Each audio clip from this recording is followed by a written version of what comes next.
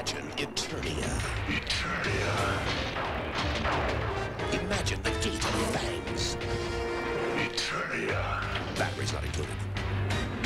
Imagine the soaring Skytrax. Figures sold separately. The Cavern of Justice. Eternia. Imagine the power lift to the control chamber. At last, from the masters of the universe, the world you've always imagined can be yours. Without doubt, the biggest and most impressive playset from Mattel's He-Man line was the Eternia playset released in 1986. However, size doesn't always matter. It looks fun, and again, it was impressive to see, but did it pack in the fun play value of the smaller playsets like Castle Grayskull and Snake Mountain? Well, that would be best answered by a kid back in 1986 who had it. On a personal note, it just seemed a little too big to be all that fun as the smaller playsets would give you a more controlled space to center the fun. But fun or not, this thing was impressive and one of the best designed toys of the 80s. Sadly, what hurt this playset the most, I think, was releasing it in 1986, as it was the first year He Man was starting to see a decline in sales.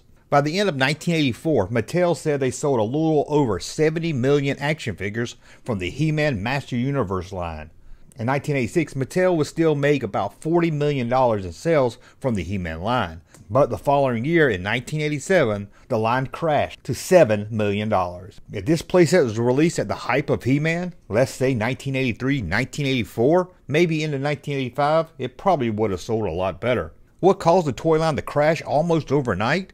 Well, it wasn't She-Ra, and I've done a whole video on why we crashed, so I'll link to it at the end of this video. With sales still strong but down in 1996, Mattel knew they had to give kids something new and exciting to play with and beg for at Christmas time. What better playset to make than Eternia, the home world of He-Man, his friends, and parents? This is a playset the kids playing with the toys in 1983 would talk about and always wanted, but kind of knew in the back of their head there's no way a toy company could make a Planet playset. Well, Mattel wanted to make the kids dreaming of that playset come true, and they got the help of Mike McKittrick, one of the Master Universe designers and engineers, to help bring the city playset to life. Mike had already had huge success with the He-Man line. In fact, he gave He-Man his Thunder Punch action, and he also made Spydor, among a lot of other toys for the line. But this was no action figure. And it wasn't just a normal playset. This thing was going to have to be huge and, more importantly, fun. Mike would lead up the project, with Mattel assigning him two other engineers to help. Mattel wanted the biggest Master Universe playset ever and wanted Mike and his team to come up with it, and they sure did deliver. The playset would mostly be three huge towers that would connect by a monorail track with a mechanical vehicle attached that would circle the city playset. There was even plans to let kids attach the Castle Grayskull and Snake Mountain to the playset to make the playset Tower Town more of a huge planet playset. But how much would this huge thing cost to make? Mike said the number was through the roof, and after the first design, Mattel stepped in and cut out 20 intended functions for the playset, but they would also add a handful more play features that was fun that wasn't included with the first design. Even with cuts and changes, the playset itself was the highest bill for a single toy for Mattel ever. At first, Mattel estimated that they would have to sell around 40,000 of the playset just to break even, and it would take 60,000 of them to make a profit. However, after reworking the plans and coming up with a final design, that estimate dropped, with the company believing they only would have to sell 20,000 to make a profit.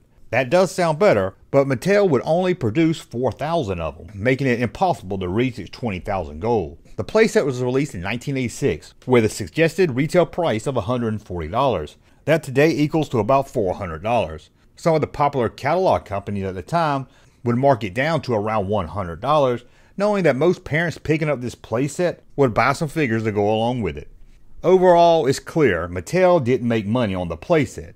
It seems their biggest goal was to get kids who were slowly moving out of He-Man toys back into toys just a little longer. Today you can pick up one of these playsets loose for around $2,000. Even the instruction book that comes along with the playset can run you close to $100. And what about one still in a box that's never been opened? That's getting closer and closer each year to $10,000. If you want one, but you only have a few hundred dollars, well, it looks like Mattel is looking for backers so they can release a new version of the playset. And that asking price? $550.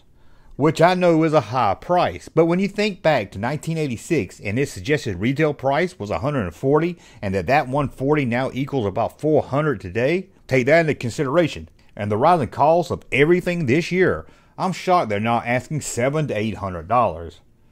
Either way, old or new, it's too pricey for me. But this was a look at one of the most impressive playsets of the 80s. Did you have this playset? Did you enjoy playing with it as a kid? As for me, the smaller ones do look more fun, and honestly, I wouldn't even know where I would put this thing if I had it as a kid. It's bigger than my room.